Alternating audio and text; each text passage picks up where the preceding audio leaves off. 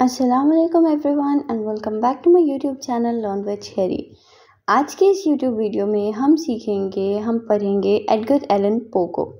Edgar Allan पो की basically हम एक पोएम को पढ़ेंगे। That is a very beautiful poem and वो एक बहुत सिम्बॉलिक नॉट सिम्बॉलिक एक्चुअली वो एक उनकी लाइफ की रिप्रेजेंटेशन है।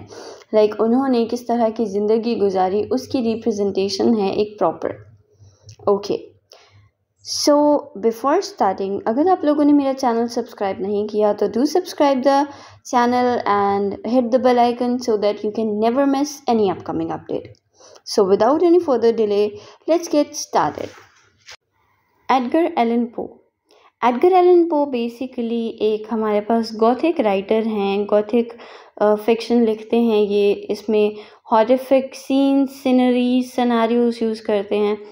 तो बेसिकली एडगर एलन पो पैदा हुए थे जनवरी 19 1809 को एंड अक्टूबर 7 1849 को उनकी डेथ हो गई थी। अमेरिकन लिटरेचर में एक बहुत बड़ा नाम है as a short story writer इनका।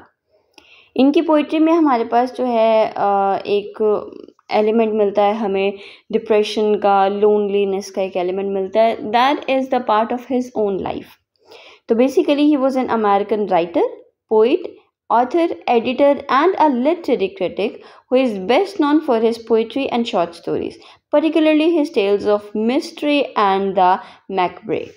तो बेसिकली जो चीज़ मैंने अभी बताई कि वो फ़ेमस थे अपने पोइट्री के लिए और शॉर्ट स्टोरीज़ के लिए और पर्टिकुलरली उनकी टेल्स में एलिमेंट ऑफ़ मिस्ट्री बहुत ज़्यादा पाया जाता था। तो लिटरेरी फिक्शन में हमारे पास एडगर एलन पो का एक बहुत बड़ा नाम है जो कि अमेरिकन लिटरेचर में ऑथर थे एडिटर थे लिटरेरी क्रिटिक भी थे। He is widely regarded as a central figure of romanticism and gothic fiction in the United States. Gothic fiction वो होता है जिसमें हमारे पास mysterious elements होते हैं जिसमें हमारे पास horror हॉरिफिक सीन्स होते हैं हॉरर होता है सीनरीज इस तरह की ब्लैक ब्लरी सीनरीज बनाई होती हैं।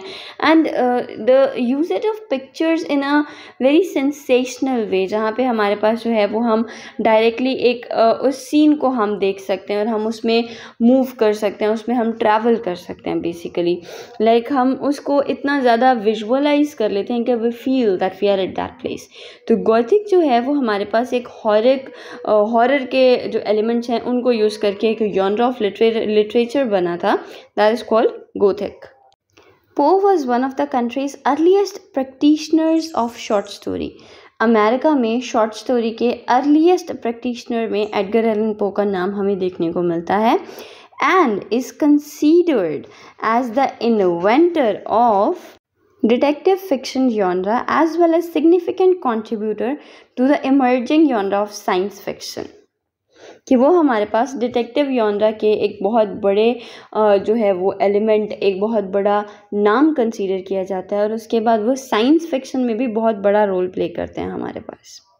He is the first well known American writer to earn through a living through writing a loan resulting in a financially difficult life and career कि उनके लाइफ और करियर की बेस सिर्फ़ और सिर्फ़ उनकी राइटिंग थी जो उनके लिए बहुत डिफ़िकल्ट हो रही थी हैंडल करना।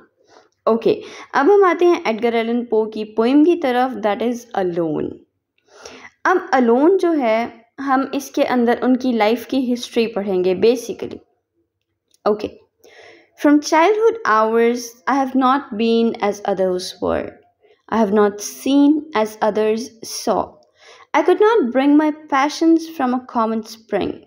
From the same source, I have not taken my sorrows. I have not awakened my heart to joy at the same tone. Beautiful, beautiful opening of a poem. Edgar Allan Poe ने अपनी life history का सबसे बड़ा event यानी कि starting of his life यानी कि उसकी चाइल्डहुड को उन्होंने किस तरह से एक्सप्लेन किया है from childhood hours I have not seen as others were मैं वैसा I have not been as others were मैं वैसा नहीं था जैसे बच, दूसरे बच्चे थे I have not seen as others saw मैंने उस तरह से चीज़ों को नहीं देखा जिसे दूसरे बच्चों ने देखा। I could not bring my passions from a common spring कि मैं एक कॉमन स्प्रिंग से अपने पैशंस को कनेक्ट नहीं कर पाया। जैसे दूसरे बच्चे अपने पैशंस को स्प्रिंग से कनेक्ट करते थे, मैं नहीं कर पाया। From the same source I have not taken my sorrows कि मुझे वही चीज़ें उदास नहीं करती थी जो दूसरे बच्चों को उदास करती थी। I could not awake my heart to joy at the same tone कि मैं उन चीज़ों पे मेरा दिल खुश भी नहीं हो सकता था जिन चीज़ों पे दूसरे बच्चों का दिल खुश हो जाता था। तो बेसिकली यहाँ पे सबसे इंपॉर्टेंट फैक्टर हमें क्या देखने को मिल रहा है? वो हमारे पास है loneliness difference difference of opinions difference of nature difference of perspective difference of looking at the things ये सब एलिमेंट्स हमें यहाँ देखने को मिल रहे हैं। Okay all I loved I loved alone then in my childhood in the dawn of a most stormy life, was drawn from every depth of good and ill, the mystery which binds me still. वो कहते हैं कि मुझे जो चीज़ पसंद थी वो सिर्फ मुझे पसंद थी वो दूसरों को नहीं पसंद थी देन इन माई चाइल्डहुड कि मेरे बचपन में in the dawn of the most stormy life कि मेरी ज़िंदगी की तूफ़ान भरी ज़िंदगी की एक बहुत स्टॉर्मी ज़िंदगी की शुरुआत के सालों में was drawn from every depth of and ill वहाँ पे अच्छे और बुरे की हर गहराई मौजूद थी। The mystery which binds me still कि वो मिस्ट्री वो मुझे अब तक भी it binds me still it holds on me still From the torrent or the fountain, from the red cliff of the mountain, from the sun that rounded me rolled in its autumn tint of gold. कि वो जो mystery है जिसकी मैं बात कर रहा हूँ जो मुझे बाउंड करती है that mystery is I don't know from where that mystery is from the torrents from the fountains कि वो फाउंटेन से है वो आ, लाल पहाड़ियों से है वो सन से है सन के गोल्ड कलर से है जो ऑटम में उसमें गोल्ड का टेंट आता है उससे है मुझे नहीं पता वो मिस्ट्री किस चीज़ से मिल निकली है किस चीज़ से बाउंड है all I know is that the mystery is bind, binding me. The mystery is still binding me. The mystery of my childhood, the mystery of my stormy life.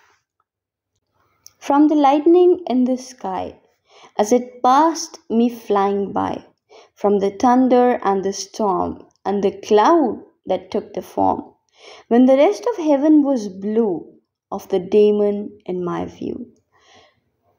He is talking about the daemon of his views, the daemon of his perspectives. He is saying कि I do not know about the mystery that is binding me. He is saying कि मुझे नहीं पता कि कौन सी force और power मुझे bind कर रही है कि from the lightning in the sky कि सूरज में सॉरी आसमान में जो बिजली चमकती है, उससे लेके from the thunders and the storm फिर तूफ़ान और बादलों में and the cloud that took the form और वो बादल जिसने अपनी एक शक्ल इख्तियार कर ली of a demon in my views कि वो बादल जिसने एक डीमन की, एक शैतान की शक्ल इख्तियार कर ली मेरी नज़रों में। जबकि दूसरे लोगों के लिए the heaven was a blue the heaven was a beautiful the heaven was stunning but in my eyes that lightning was converted to demon तो ये थी एडगर एलन पो की एक ब्यूटीफुल पोम जिसमें बेसिकली हमने तीन से चार डिफरेंट चीज़ें और बहुत इंपॉर्टेंट चीज़ें देखी, जो सबसे पहले हमारे पास थीम्स आ जाते हैं that is the difference of perspectives कि जो चीज़ें उस टाइम में बच्चों के लिए फैसिनेटिंग होती हैं ब्यूटीफुल होती हैं, बच्चे उन चीज़ों को लाइक करते हैं। Edgar Allan Poe was one of the kids जिनके लिए वो चीज़ें फैसिनेटिंग नहीं थी। He used to think of those things as a mystery जो उनको बाइंड करती थी जो उनको डिफरेंट चीज़ों की तरफ़ लेके जाती थी। बेसिकली हम एडगर एलन पो की अगर लाइफ हिस्ट्री को देखें तो ही वॉज़ अ गैम्बलर वो जुआ खेलते थे। And that gambling made him get into the depths and उनके uh, उन पे जो कर्ज थे उन सारी चीज़ों की वजह से वो बहुत ज़्यादा स्ट्रेसफुल ज़िंदगी गुजारते रहे।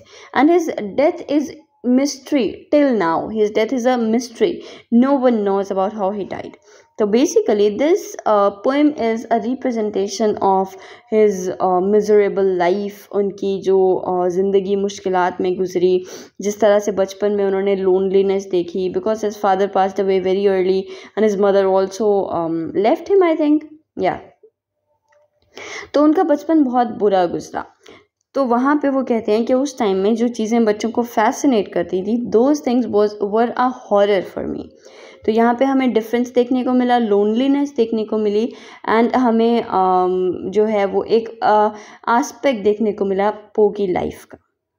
So, yeah, that was it about Edgar Allan Poe's Alone. I hope you enjoyed the video. I hope you liked the content. And if you have any question and query about this poem, you can comment down below and I will answer all the questions you have. I will see you in the next video. Till then, stay safe. Bye bye. Thank you for watching.